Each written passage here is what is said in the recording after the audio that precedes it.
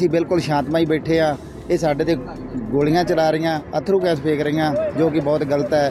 ਅਸੀਂ ਇੱਕ ਲੋਕਤੰਤਰ ਦਾ ਹਿੱਸਾ। ਵੋਟਾਂ ਪਾ ਕੇ ਇਹਨਾਂ ਨੂੰ ਅਸੀਂ ਸੈਂਟਰ 'ਚ ਬਿਠਾਇਆ। ਅਸੀਂ ਅਸੀਂ ਇਹ ਬੈਰੀਕੇਡ ਪੱਟ ਕੇ ਅਸੀਂ ਦਿੱਲੀ ਨੂੰ ਕੂਚ ਕਰਾਂਗੇ। ਪਰ ਪ੍ਰਸ਼ਾਸਨ ਕਹਿੰਦਾ ਦਿੱਲੀ ਪਹੁੰਚਣ ਨਹੀਂ ਦੇਣਾ ਤੁਸੀਂ ਨਹੀਂ ਪਹੁੰਚਦਾ ਤਾਂ ਕੋਈ ਨਹੀਂ ਇੱਥੇ ਮਰ ਜਾਾਂਗੇ ਫਿਰ ਫਿਰ ਕੀ ਹੁੰਦਾ? ਚੱਲ ਲੈਂਦੇ ਲਾਠੀਆਂ ਵੀ ਚੱਲ ਲੈਂਦੇ।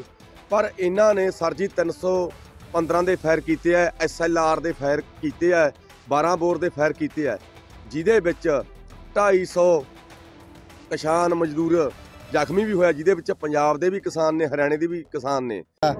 ਇਹ ਜੋ ਕਾਲੇ ਕਾਨੂੰਨ ਹੈ, ਇਹਨਾਂ ਨੂੰ ਵਾਪਸ ਕਰਵਾਉਣਾ ਚਾਹੀਦਾ। ਇਹ ਬਾਕੀ ਸਰਕਾਰਾਂ ਨੇ ਧੱਕੇਸ਼ਾਹੀ ਕਰਦੀਆਂ ਨੇ। ਅਸੀਂ ਬਿਲਕੁਲ ਸ਼ਾਂਤਮਈ ਬੈਠੇ ਆ।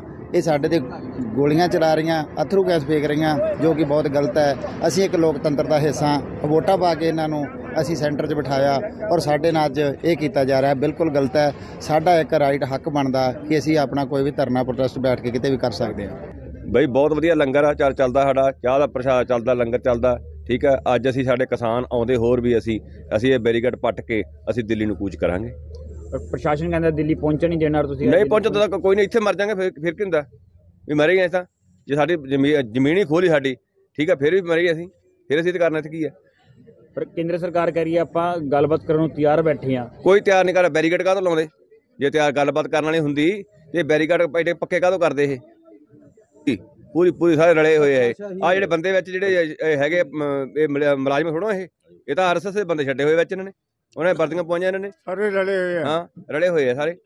ਇਹ ਮੁਲਾਜ਼ਮ ਨਹੀਂ ਇੱਥੇ ਆਰਐਸਐਸ ਦੇ ਬੰਦੇ ਛੱਡੇ ਹੋਏ ਆ ਜਿਹੜੇ ਇਹ ਗੋਲੀਆਂ ਸਾਡੇ ਮਾਰ ਰਹੇ ਆ। ਮੁਲਾਜ਼ਮ ਛੇਤੀ ਕਿਤੇ ਗੋਲੀ ਨਹੀਂ ਮਾਰਦਾ ਹੁੰਦਾਗਾ।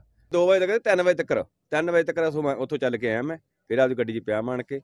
3 ਵਜੇ ਮੈਂ ਜਦੋਂ ਉੱਥੋਂ ਆਣ ਕੇ ਉਦੋਂ ਇਹਨਾਂ ਨੇ ਸਿੱਟੀ ਗਏ ਗੋਲੇ। ਫਿਰ ਵੀ ਸਿੱਟੀ ਗਏ ਸਾਡੇ ਮਗਰੋਂ ਆਉਂਦੇ ਨੇ। ਇਹਨੂੰ ਵੀ ਡਰਾ ਕੇ ਰੱਖਿਆ। ਵੀ ਹੋ ਸਕਦਾ ਸਾਡੇ ਟਰਾਲੀਆਂ ਦੇ ਕੋਲੇ ਵੀ ਫਿਰਦੇ ਹੋਣ ਇਹ ਜੇ ਬੰਦੇ।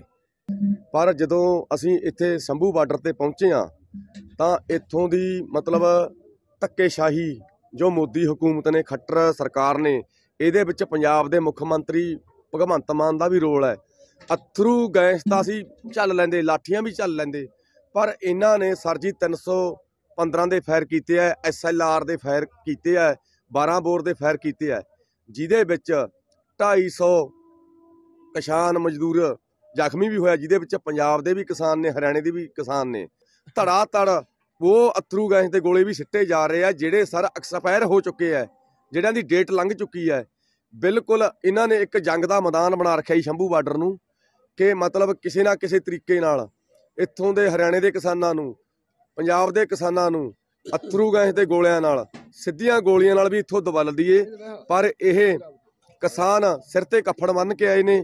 ਇਹ ਜਿੰਨਾ ਚੱਕ ਅਸੀਂ ਇਹ ਬੈਰੀਗੇਟਾਂ ਨੂੰ ਤੋੜਦੇ ਨਹੀਂ। ਇਹਨਾਂ ਨੂੰ ਤੋੜ ਕੇ ਦਿੱਲੀ ਨੂੰ ਕੂਚ ਨਹੀਂ ਕਰਦੇ। ਅਸੀਂ ਘਰਾਂ ਨੂੰ ਨਹੀਂ ਜਾਵਾਂਗੇ ਜੀ।